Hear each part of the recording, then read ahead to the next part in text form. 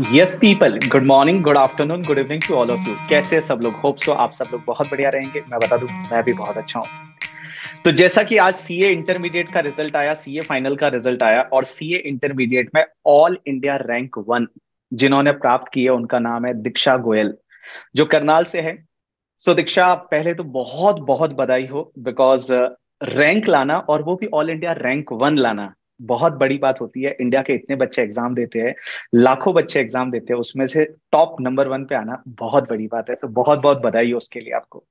Thank you so much sir thank you so much Diksha कैसे पता चला morning में कि अपन फाइनल में आ गए और वो भी ऑल इंडिया रैंक वन के साथ?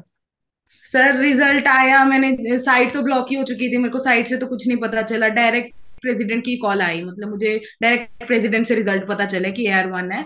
अदरवाइज़ मेरे हाँ। को साइट से नहीं पता चला। अच्छा तो जैसे प्रेसिडेंट का कॉल आया तो सबसे पहले तुमने फ़ोन पे उन्होंने बताया कि तुम्हारी एयर वन आई है। उसके बाद तुम्हारा रिएक्शन क्या था? किसको सबसे पहले बताया तुमने? सर मम्मा साथ में थे। मतलब रोना शुरू हो गया था सर मेरा तो। हम्म। मतलब बिल्कुल सरप्राइज़ सर बिल्कुल शॉकिंग ये सपना तो था ही सर एयर वन टारगेट करनी है। जैसे अर्जुन हम्म। का लक्ष्य था मछली की आँख। सर मुझे भी सिर्फ़ ए आर वन ही दिख रही थी शुरू से ही फाउंडेशन के रिज़ल्ट से। सर बस, बस वो अचीव मुझे पहली रात को तो डर लग रहा था कहीं एयर वन निकल ना जाए मेरे हाथों से किसी और की ना आ जाए तो मतलब सर जब अचीव किया सर मतलब कंट्रोल नहीं हुआ सर इमोशंस कंट्रोल ही नहीं हुए। Right right right right right और जैसा मुझे पता चला कि आपके पापा बिज़नेस करते हैं आप फैमिली में पहली सीए हो तो उनको कैसा लगा? सर अच्छा लगा बहुत बहुत अच्छा लगा। उनको पता है कि लाइक एयर वन की वैल्यू क्या रहती है?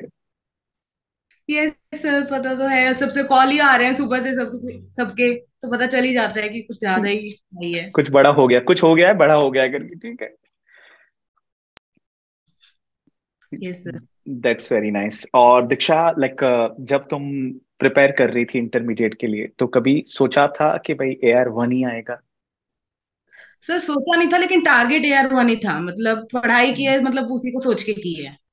That's very good that's very good और लाइफ में जैसे अपन पढ़ते हैं रिक्शा तो बहुत बार चीज़ें हैं, वैसे अपने हिसाब से नहीं होती कि आपने कोई प्लान किया और उसके अकॉर्डिंगली नहीं जा रहा है। तो थोड़ा सा ऐसे डीमोटिवेट हो जाते हैं, थोड़ा सा लो फील करते हैं। तुम्हारे साथ ऐसा होता था क्या? और होता था तो उसको कैसे ओवरकम करती थी तुम? सर कभी कभी हुआ है टैक्स का पेपर दिया था तो थोड़ा टिपिकल था इस बार पेपर। टैक्स में ही सबसे ज़्यादा डर लग रहा था सर कि हाँ. मतलब सब निकल जाएँगे शायद टैक्स रह जाएगा ऐसे ऐसे आ रही थी सर फीलिंग्स लेकिन बस सर ओवरकम होता है। बट मैंने देखा टैक्स में तुमने बहुत अच्छा स्कोर किया है। यस सर यस कितना? 83 है राइट यस सर या 83 marks in the taxation so Diksha पहली चीज़ तो ये कि बहुत सारे बच्चे ये बोलते हैं कि भाई रैंकर्स को बहुत पढ़ना पड़ता है, बहुत टाइम पढ़ना पड़ता है। तो तुम्हारा लास्ट के छह महीने का शेड्यूल कैसा था? बिकॉज़ सबसे ज़्यादा इंटरमीडिएट में क्या होता है? एक तो एट पेपर है और टाइम आपके पास बहुत कम होता है फाउंडेशन के बाद में इंटर में। तो आपकी प्रिपरेशन स्ट्रेटेजी कैसे रही? कैसे आपने क्लासेस कंप्लीट की? और कैसे अपने आप को एग्ज़ाम के लिए प्रिपेयर किया? सर हमारा फाउंडेशन का रिज़ल्ट फेब्रवरी में आया था फेब्रवरी टेन और तब तक मैंने अपने थ्री सब्जेक्ट्स कंप्लीट कर लिए थे accounts cost and F sir ये सर फेब्रवरी तक तो थ्री तो हो ही चुके थे बाकी के फाइव जून तक हो गए थे। दैट्स वेरी नाइस जुलाई में फ़र्स्ट रिवीजन की। अगस्त hmm. में सर कॉलेज के एग्ज़ाम्स भी थे लेकिन मैंने मॉक टेस्ट पेपर भी अटेम्प्ट किया अगस्त में सारे। जुलाई में अप्रोक्सीमेटली सर मैंने थर्टी टू फोर्टी रिटर्न में किए होंगे। बाकी in total one twenty papers तो मैंने किए हैं attempt very nice very nice one fifty ऐसे हो गए थे वो ओरली थे. थर्टी टू फोर्टी रिटर्न में किए हैं. फिर सितंबर अक्टूबर से सेकंड रिवीजन थर्ड रिवीजन कुछ सब्जेक्ट जैसे ऑडिट या एसएसएम कंप्लीटली थ्योरेटिकल हैं उनकी तो सेवन टू एट टाइम्स भी रिवीजन गई होगी आराम से. वेरी गुड सर ये सर आपके नोट्स भी बहुत काम आए मतलब डीटी तो आपके नोट से ही रिवाइज किया आपकी कॉम्पैक्ट बुक से. वेरी गुड बाकी जैसे आपके टेलीग्राम चैनल से कनेक्टेड रहे आपने जैसे एग्ज़ाम से पहले सुपर थर्टी क्वेश्चन सेंड किए थे। सुपर थर्टी क्वेश्चन दिए थे राइट वो भी सॉल्व किए थे सर किया है बहुत मेहनत की है। तो बहुत मेहनत की है दीक्षा उसी का तो ये फ्रूट है। बिकॉज़ अपन जो प्रोसेस जो फॉलो करते हैं लोगों को आज लगता है यार ऑल इंडिया रैंक बनाई बट उसके पीछे के एफर्ट्स है उसके पीछे का जो सेक्रीफाइस है वो किसी को पता नहीं होता। वो तुम बता रही हो आज कि सच में कितनी मेहनत की और तुमसे जब मैं बात कर रहा था तुमने बताया तुम मॉर्निंग में three o'clock like like, सोती थी राइट और और वापस कितने बजे उठ जाती थी? थ्री टू एट सर फिर नाइन से तो क्लासेस भी होती थी। तो फ्रेश हो गया सो देख लो इतना पढ़ना पड़ता है बाकी सब लोग ए आई वन के लिए करके ठीक है? इतने एफर्ट्स लगाने पड़ते हैं। और दीक्षा कैसे सोशल मीडिया वगैरह जो है तो वो तुम्हारी लाइफ जैसे बहुत बार बच्चे क्या होते हैं बड़े मतलब उससे डिस्ट्रैक्ट हो जाते हैं। बहुत बार वो सोशल मीडिया देखते हैं रील्स देख रहे हैं। तुम्हारी लाइफ कैसे थी? सोशल मीडिया से कितना दूर थी या कितना यूज़ करती थी mobile and all sir foundation का रिज़ल्ट फेब्रवरी में आया तब से इंस्टा तो बंद ही था। मतलब इंस्टा तो छुआ ही नहीं है। और व्हाट्सएप फ़ोन था और टेलीग्राम क्योंकि आप लोग अपडेट्स डालते रहते थे टेली पे तो वो चाहिए था। व्हाट्सएप पे यस सर राइट और ऐसे और जो रिलेटिव्स है या जितनी शादियाँ फैमिली फ़ंक्शन वो कितने सेक्रीफाइस किए आपने? सर सब कुछ सेक्रीफाइस किया दिवाली वाले दिन भी पढ़ाई की है सर दिवाली वाले दिन भी बात कर रहे अभी है ना देखो सीए फाइनल का एग्ज़ाम अभी दो ढाई साल बाद रहेगा तो पहले तो बच्चे से दिवाली सेलिब्रेट करना अच्छी फर्म में आर्टिकलशिप करना बहुत मज़ा आएगा। और लाइफ में बहुत कुछ सीखने को अभी तुमको मिलेगा कि अभी लाइफ चालू हो रही है और जैसे ऑल इंडिया रैंक बना है तो बहुत अच्छी फर्म आपको मिलेगी। बहुत सारा अर्न करने को मिलेगा और फाइनल में भी बहुत अच्छे से टारगेट करना है।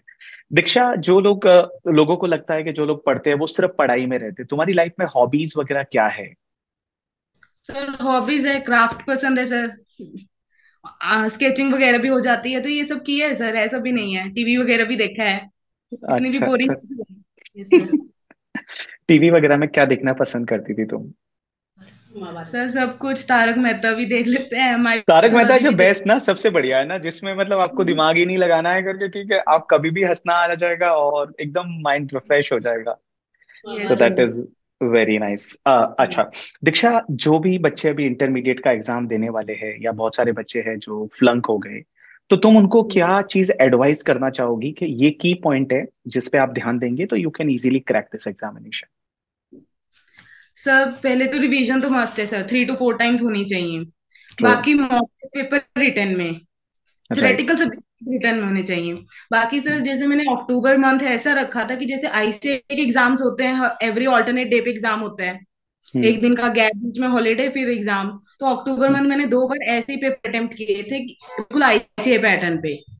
वाओ पहले एक दिन ब्रेक लेके ताकि कैसे हमें वन डे स्ट्रेटेजी कैसे प्रिपेयर करनी है कैसे कौन कौन से चैप्टर्स लर्न करने हैं वो सब चीज़ें सर करनी चाहिए प्रॉपर बिल्कुल आईसीआई का जैसे माहौल रहेगा एक दिन ब्रेक फिर एक दिन एग्ज़ाम वैसे करना है सर प्रिपेयर और तीन घंटे में पेपर सॉल्व करती थी वो जो जिस दिन एग्ज़ाम वाला। यस सर वैसे तो one and half hour to hour में हो जाता था घर पे तो मतलब ढंग से किया है लेकिन yes sir that's very nice life में आगे क्या करना चाहोगी? मतलब सीए तो बन ही जाओगी। सीए बनने के बाद क्या? सर अभी इतना तो नहीं सोचा लेकिन डीटी में इंटरेस्ट है सर इनकम टैक्स में बहुत ज़्यादा। Very good very good banana sir yes that's very nice और लाइक आप इन लोगों को क्या एडवाइस और कुछ करना चाहोगी? जैसे कंसिस्टेंसी बहुत बार लोग बोलते हैं कि आपको कंसिस्टेंसी फॉलो करनी चाहिए। तो कंसिस्टेंसी को तुम कैसे डिफाइन करना चाहोगी? कि तुमने कैसे फॉलो की? सर मैंने तो बोला सर मैंने दिवाली वाले दिन भी पढ़ाई की है मतलब न्यू ईयर मतलब सर फ़र्स्ट ऑफ़ जैन से और और ये जब तक एग्ज़ाम्स नहीं हुए तब तक एवरी डे मतलब हम्म। मुश्किल से sir three to four days का ब्रेक होगा पूरे नाइन टू टेन मंथ्स में। सर करना हम्म। पड़ता है सर। अंदर से मोटिवेशन आती है सर को, कोई वीडियोस आपको मोटिवेट नहीं कर सकते। True true true internal motivation सबसे ज़्यादा ज़रूरी है। वीडियो का इफ़ेक्ट सिर्फ़ दो दिन रहता है अगर ठीक है दो दिन के बाद जैसे थे वैसे हो जाते हैं। तो बेस्ट इज़ इंटरनल मोटिवेशन और तुमको लाइफ में कैसे तुम मोटिवेट होती थी? क्या सोच के मोटिवेट होती थी? या क्या देख के या समझ के मोटिवेट होती थी तुम? सर घर में ही सबसे पहले तो मम्मी। मम्मी हाँ। मतलब इतनी मतलब पंक्चुअल मतलब कोई चीज़ पोस्टपोन नहीं करना। जो काम जिस टाइम पे होना चाहिए वो उसी टाइम पे होगा। तो मम्मी को देख के मम्मी रोल मॉडल ही प्ले होते हैं। तो मतलब उनको देख के कि जैसे मम्मी कोई काम नहीं टालते तो हमें भी नहीं टालना चाहिए। मम्मी जैसे कर रहे हैं वैसे ही ठीक है। मम्मी अपना काम करते हैं तो हमें अपने में हार्ड वर्क करना चाहिए। ट्रू ट्रू तो ऐसे बहुत सारे हैं। यस दैट्स गुड और अभी आर्टिकलशिप के लिए कहाँ पे मूव कर रहे हो? करनाल से दिल्ली साइड में जा रहे हो या मुंबई वगैरह आने का है? Sir Delhi Gurgaon big four है सर। राइट राइट तो दिल्ली में मतलब बिग फोर आपको मिल जाएगी और बहुत अच्छी मिलेगी और बहुत अच्छे फ़ील्ड में जाना आप। बिकॉज़ जो टैलेंट है उसको बहुत अच्छे से यूटिलाइज करना एंड हम लोग जल्दी ही मिलेंगे और लाइक like, मैं आपसे ट्रीट लूँगा वैसे वाली बात है ठीक है? तो जल्दी ही मिलेंगे अपन दिल्ली में या मुंबई में जहाँ पे भी होता है। And best of luck Diksha future के लिए। अपनी लाइफ के लिए really we are proud of you and we are privilege ऐसा हमको लगता है कि ये हमारा सौभाग्य है कि आप हमसे पढ़े हो। बाकी ये सब आपका हार्ड वर्क है hundred percent it's your because आपने इतना अच्छे से प्लान की अपनी नाइन मंथ की जर्नी और उसके बाद में नाइन टेंथ मंथ इतनी पढ़ाई करने के बाद आपने ऑल इंडिया रैंक वन लाया है। Once against congratulation to you and best of luck for your future thank you sir thank you so much